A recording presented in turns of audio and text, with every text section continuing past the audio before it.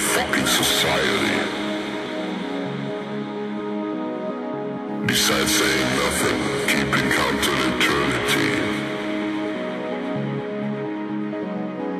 They sell out their soul in search for publicity.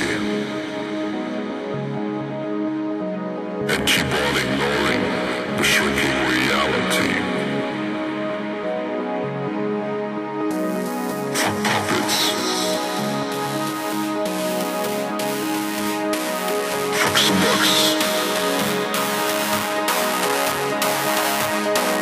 Fuck. you.